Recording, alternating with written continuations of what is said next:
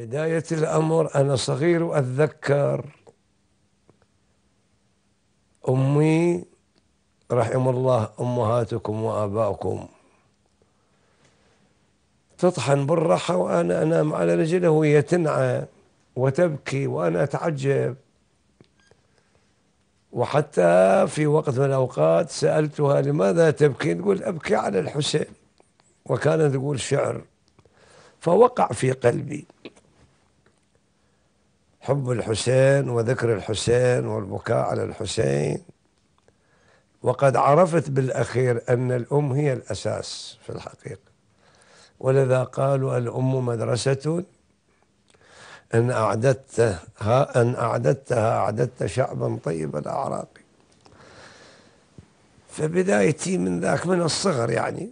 أول مرة أصعد بها المنبر كان عمري عشر سنوات.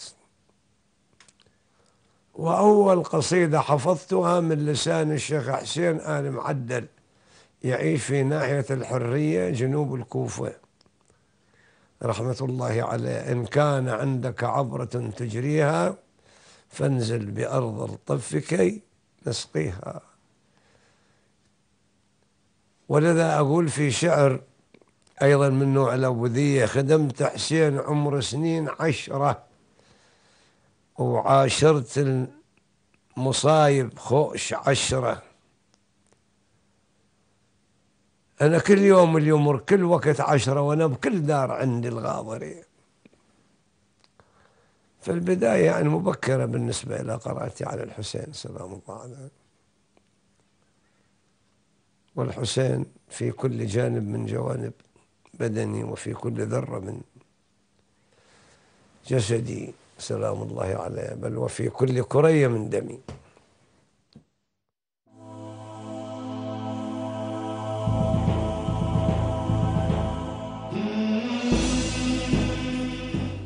Alhamdulillah, my first memory of Imam Hussein was when my parents used to take me to mosque during Muharram especially and I used to sort of wonder why at that time people were wearing black and all the rest. My earliest memory is when I was uh, 12 years old and I was taken to the Hussainiyas. It is the first time I remembered the majalis and remember the, the, the pain and suffering of uh, a, a, person, a personality in Islam named Imam Hussein. I remember eight or nine years old. We used to do latum in the street. I always wondered why people cried for him. But uh, as I grew a bit older, I um, understood uh, what made him different. I still remember our first recitation was in the was in the ladies' side, uh, where my mum uh, held us up to, up to the mic, and uh, we recited our very first Noha.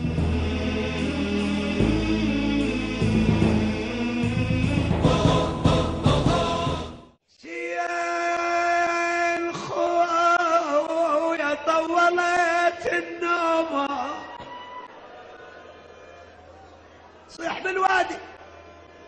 احسين خويا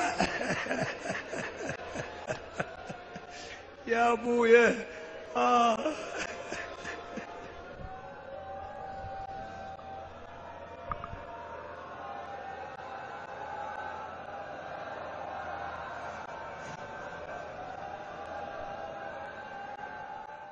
أنا فتحت عيني في مجتمع وفي قرية تحفل بذكر الإمام الحسين سلام الله عليه. أما بالنسبة لأبي وأمي وأخوتي وأخواتي وأقربائي وأعمامي كلهم يقيمون عزاء الحسين. وأنا كما قلت في البداية وأنا صب صغير كنت أتوسد حجر أمي وهي تطحن الرحى وأسمعها تنعى على الإمام الحسين. سلام الله عليه. حتى في ذات مرة أسمعها تنعى وتبكي وأنا أتعجب ليش هاي أم تبكي؟ ولسا في بالي صوتها ونغمتها وكلامها. اللي يقول تقول لك عن عن لسان العليلة أنا جواعدة وشي يرضى عنهم ويحملون وأنا تفكر لهم وجني غريبة. وماني منهم وظل موحش ومسدر ونزلهم وتبكي. قال من هي تقول عليلة الحسين فاطمة بنت الحسين اللي تركها أبوها الحسين في داره وسافروا إلى العراق. فهذا خلى في قلبي رغبة للاستماع مثل هذه الأشياء لأن تحبها أمي. ولما صار الصبي قمت أمشي ويا أبوي للقراية.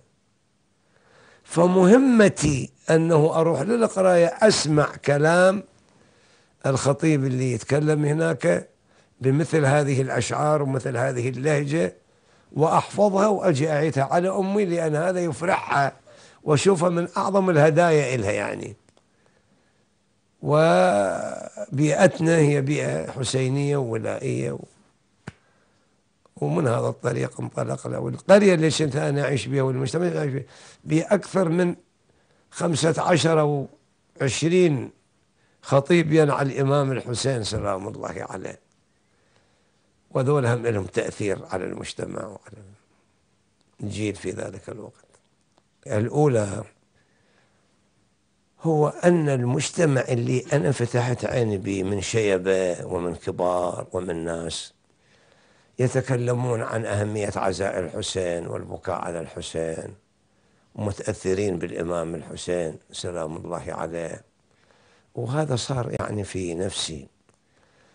بعدين أنا يعني جيت إلى المنبر من صغري وأنا بسن العاشرة جيت بكل بكل فطنة وذكاء. ومؤمن بقضية الحسين ومفجوع بقضية الحسين. وكل ما بذهني أن الإمام الحسين سلام الله عليه صاحب قضية شرعية وقتل من أجل دين جده رسول الله آمر بالمعروف ونهي عن المنكر وأنه مظلوم. وبعدين أنه لما رحت في المدرسة وفي المجالس العامة والخاصة وفي الحوزة واللي سمعته من العلماء واللي قعدت وياهم من كبار العلماء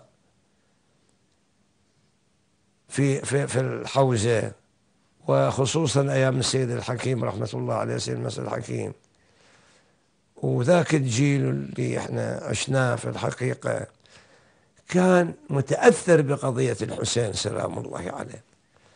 بالإضافة إلى هذا يعني صار عندي معلومة من الناحية التاريخية ومن الناحية اللي أنا أعيشها بالمجتمع يعني وأشوف صار عندي أن رثاء الحسين والبكاء على الإمام الحسين صلوات الله وسلامه عليه هو العزاء الحقيقي للحسين.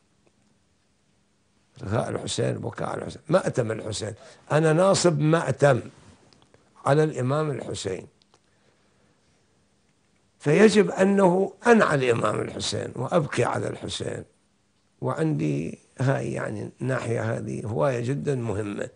ولذا أنا أهيب بكل الجماعة وبكل الناس الذين هم يدعون إلى الدين في الحقيقة.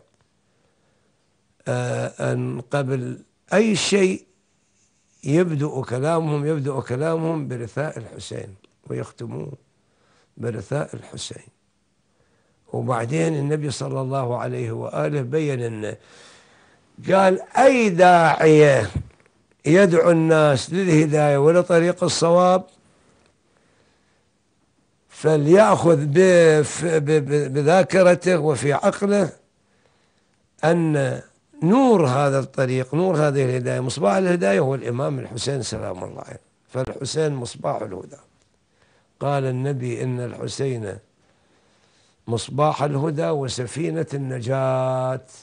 فاللي ما عنده حسين وما مهتم بقضية الحسين سلام الله عليه.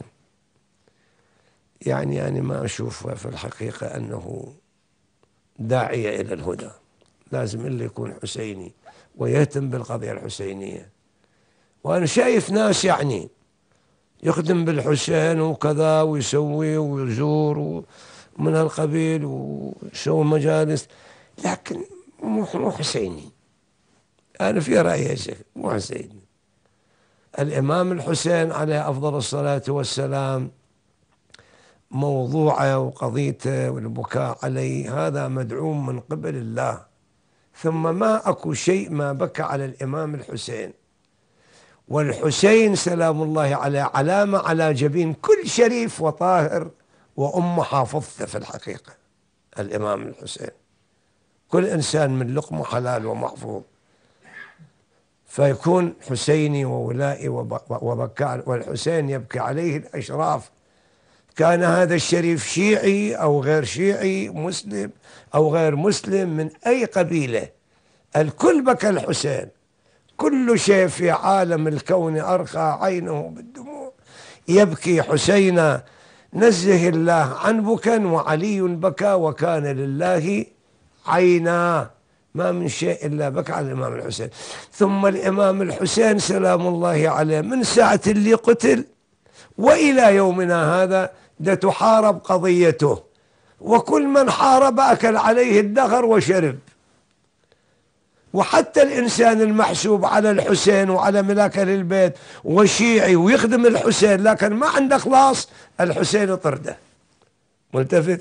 فما بالك بمن ما إلى علاقة بالإمام الحسين ولا يعتقد بالحسين. هذا ما إلى فرد أصول ولا إلى عراقة هذا سرعان ما يذ... مثل الطحلب يروح. هذا الطحلب يضربون بمثل أنا شايفه ما إلى أصول. حبيبي. فالأصول للإنسان اللي هو بكاء على الإمام الحسين. ثم قضية الحسين مو مرحلية. قضية الإمام الحسين. والله إحنا هسه كذا خسر 1400 سنة قضية الحسين. 14 قرن صار. نعم. من يوم قتل الحسين إلى 14 قرن مر على قضية الإمام وستبقى قضية الحسين.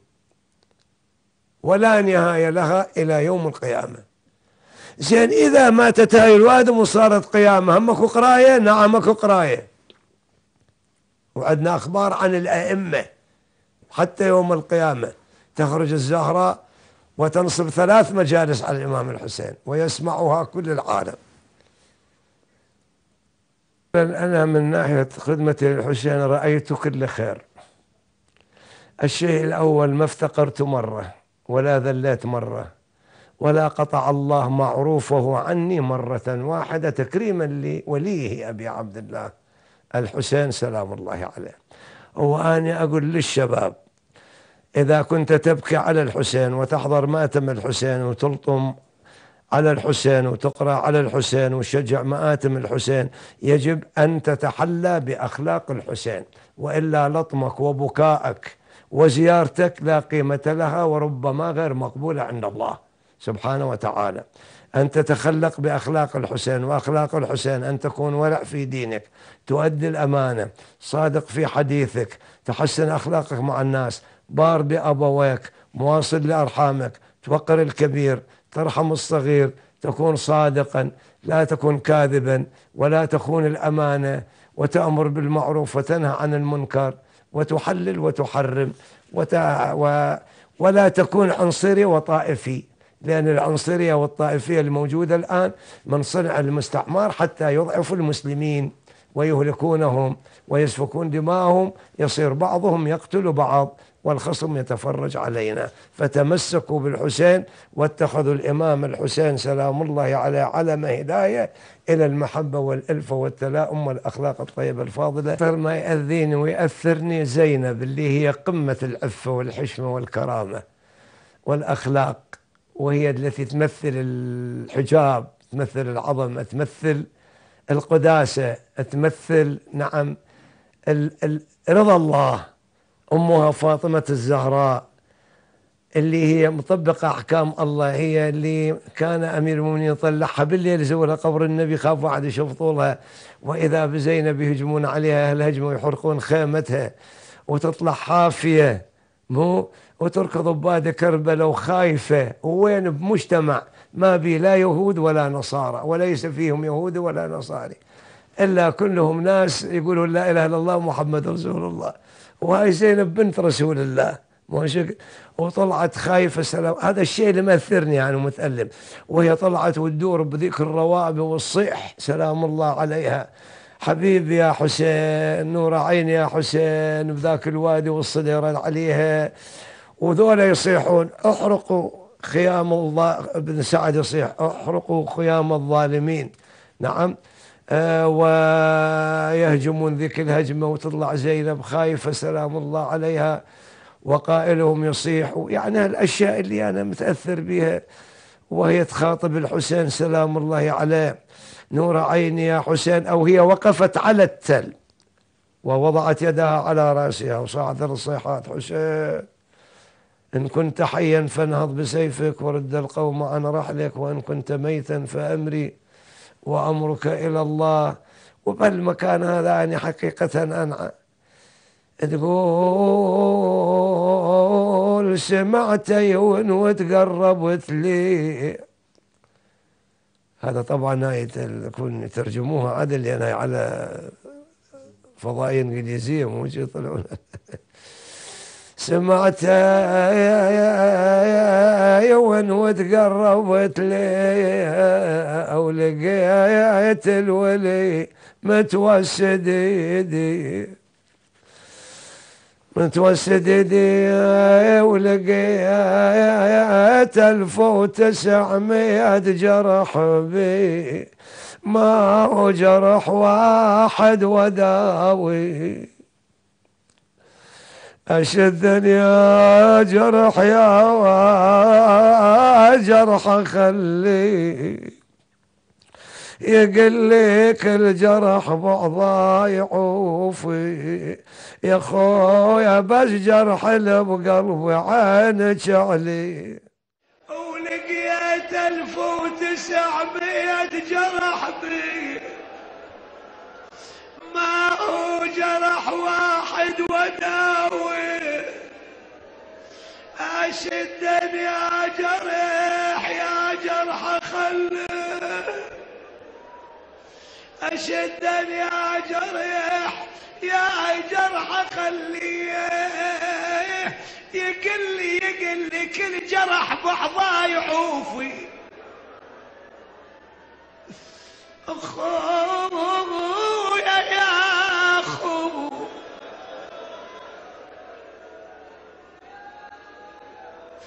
يا أخويا كل جرح بعضاي حوفي بس جرحي بقلبي عينك علي عينك علي ومعصبك يا أخت زين شدي على كيفك يا زينب لا تنجمي.